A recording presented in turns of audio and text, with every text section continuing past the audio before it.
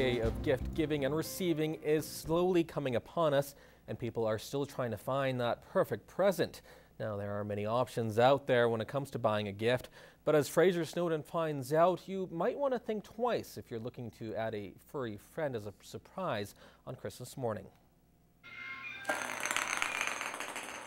The Bonnyville SPCA sees hundreds of animals come through its doors every year. But unfortunately, right after Christmas, they have noticed a trend. By February 15th, we are seeing a lot of animals come back into the shelter because it's now no longer cute.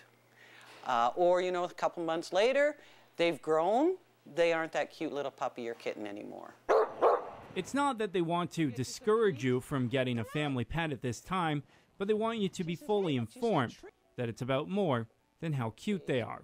Talk to the family, come in after Christmas when all the Christmas season, all the holidays are done, and then the pet can adjust to a family life without the stress of Christmas holidays. Much says their goal is to find the pets their forever home, so she wants potential pet owners to be aware of what they are getting into, especially if they are adopting one for their children. They're not, you know, just a toy. They are work. You have to train them, treat them like little children. You have to work with them and teach them, you know, right from wrong. And with the colder temperatures that come around this time of year, she also stresses the importance of being mindful of keeping your animals outside for too long. Dogs and cats are going to get cold.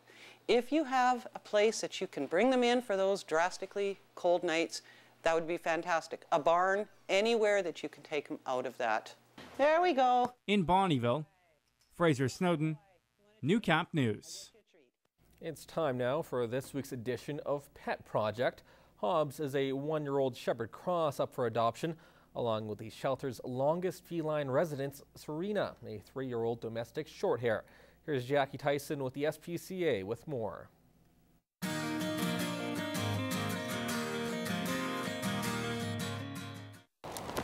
No, big shake. This is Hobbs.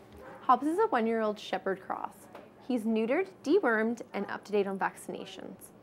Hobbs was quite timid when he first came into the shelter, but he's really started to come out of his shell. He feels more at ease when he's outside, but he is getting used to being indoors as well. New surroundings do make him a bit nervous, but with patience and time, he would settle in and feel at home. He does know basic commands like sit, but is very treat motivated, so he's eager to learn more. If you're interested in adopting Hobbs, come meet him today. Such a goof. Such a goof. Each day from December 1st to December 24th, we will be introducing an adult cat whose adoption fee is waived. Today's cat is Serena. Serena is a three-year-old domestic shorthair.